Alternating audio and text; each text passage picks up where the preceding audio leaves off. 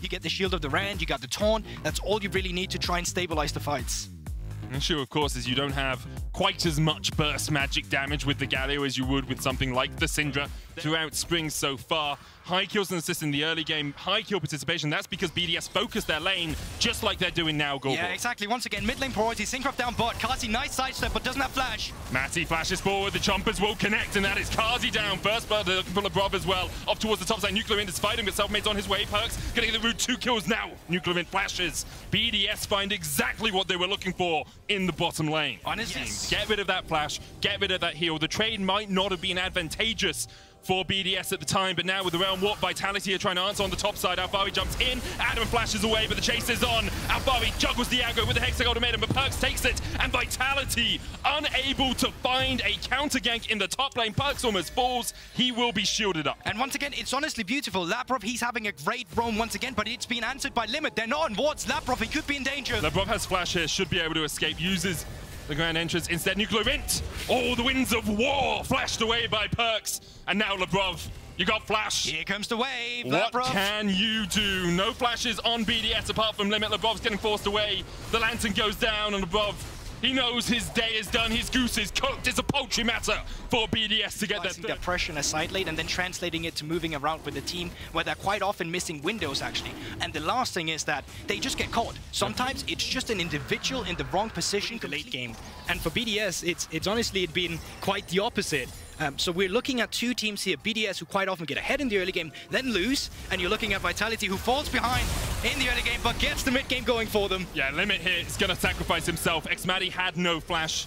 He needed his support to die for him to escape there. And that's what back. Another plate goes into Adam's pockets, four of them so far. And I will bring up the proverbial hull breaker in the room as uh, Adam actually gets jumped on here. We'll get the knockback onto Alphari, but Alphari still has an ultimate, and Adam might be in for a bit of a bad situation. Hullbreaker is giving him extra resistances, but it's just not enough to fight against Alphari. Flash forward. Syndra versus Hullbreaker, it seems like Syndra wins. Is he good?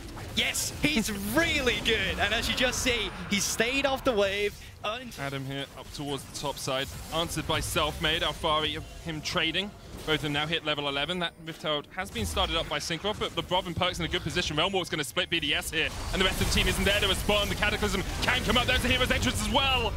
Oh, that Realm Warp. More like a Death Warp for Vitality. They just gift BDS two kills. Is Santa Claus in the house? His name is Perkz. the team composition of BDS, you're just going to lose it. It's impossible to do. You have to get onto that backline. You have to isolate this Jinx, even this Jace.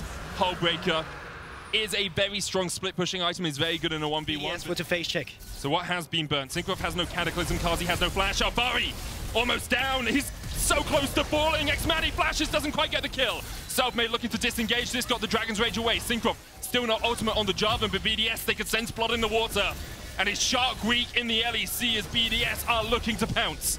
Instead, they go for the Mountain Soul. They will secure it before Vitality can answer. Realm Warp behind the pit. Perkz will take it. He's on his own now. Labrov stepping in, has the quickness, has the flash. Perkz with the good flank hook just wide. Limit steps in. Flash, play. Perkz with the stopwatch. Can Carzzy do anything? Can they save the day? Perkz immediately taunted. Alphari diving in. It's a one-four trade. And Xmatty is down. Xmatty is down. And that could be everything that Vitality needed. Everything that Vitality wanted. Xmatty falls in the crucial team fight. Yes, you got the soul, but you damn well lose lose the fight. And just like that, Matty completely face tanks it. We were talking about the range. Selfmade, he's going to continue to look by limit. Finds a really nice play to disengage with the blast cone. But my word, Matty... the front to back working. If you don't have a front line in front of your Jinx, Vitality have every tool at their disposal to jump on you and shut you down. Xmatty burnt both his summoners. Baron will be secured for Vitality. Nuclear Int forced away. And with that, Vitality now a three, well, two and a half thousand to get through that Frozen Heart. But we'll see what Vitality can do with this Baron. Currently, they are sitting on the amount of gold they got for it, about 1.5k. But they are pushing in. Labrov hooked though, and Labrov, he just falls. Cinkrof has dived across. Oh, there's a control ward there. He can't click on the Lantern. The Hero's Entrance coming out, and now BDS are going to be splitting this fight. Nuclear going forward. Carzzy forced away, feathers fly, Root comes out, doesn't quite connect. Perkz though on the backline, fighting off against Adam, gets the shield from the Thimble into another hook's gonna connect. BDS fighting for their lives underneath the tower, and they will survive for now, but Vitality having none of it. They're looking for this bot lane, uh, top lane. It's a one for one, but Vitality, they don't get to utilize the full potential of the Baron and Siege, and they can still look. Everfrost hits. There's the taunt as well. They're waiting, they're waiting, they're waiting, but Perkz will get rooted up, will get knocked back. And Vitality over overforced in the top lane. Brilliant flash forward there from Nuclear and priority move it into the river. But just look at the vision for BDS. They've literally, it's literally dark. Selfmade here just walked all the way round. Limit misses the hook, or maybe Carzzy dodged it. Alphari in the mid lane catching that way, but we'll have a good flank. Cinkrof decides he wants the fight to begin. Selfmade flashes away, gets away. Alphari trying to get in, but the playback and the root with the flame chomper still a two-man charm. The hero's entrance coming out as Matty. Is he alive?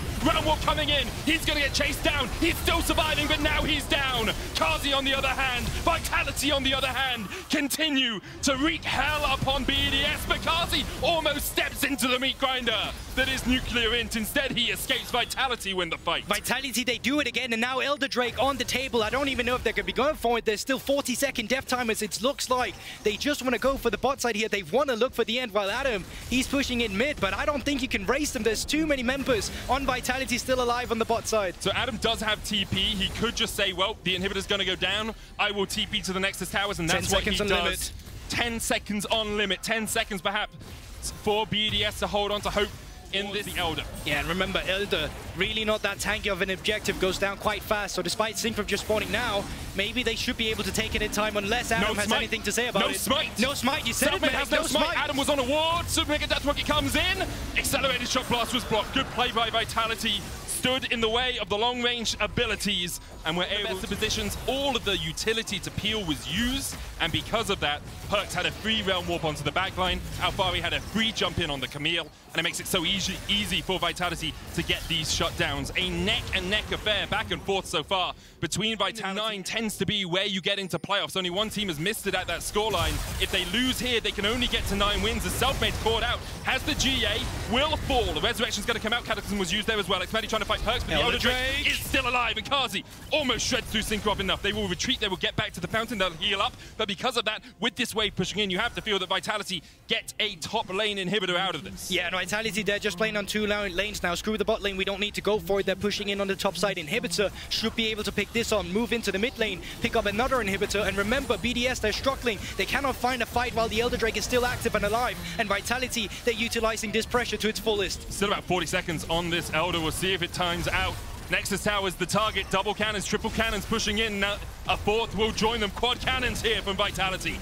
As those minions buffed up, will take down the Nexus Tower. Selfmade dives in, gets taunted up. Perkz fighting Xmatty down towards the bottom side. Labrov going in with the quickness. That's one, but the charm once again comes out. But Xmatty has survived this. The Nexus should be the target for Vitality. Carzzy pops the feathers. Labrov going in. Alphari down towards the bottom side. And with Xmatty dead, you have to feel that Vitality should have done enough. Should have been able to take it in the end. It's a stare down. Cinkrof versus Alphari. Alphari knows he's got this one in the bag. The minions will do it. The sixth man for Vitality secure them the win. Winian's got it in the bag. Alphari just looking to pat the KDA and Vitality. Not looking happy about that victory. But uh, definitely not a clean game either once again. Vitality, how long can they keep up messing around in the early game only to come back in the late game? Because it's a matter of time where you face a team like Fnatic, you face a team like Rogue, and all of a sudden that's just not going to work.